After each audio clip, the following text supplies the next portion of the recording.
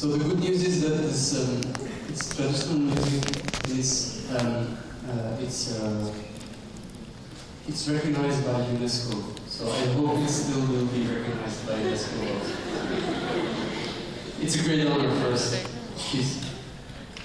Xin nghệ sĩ ưu tú Hoàng Xuân Bình tay.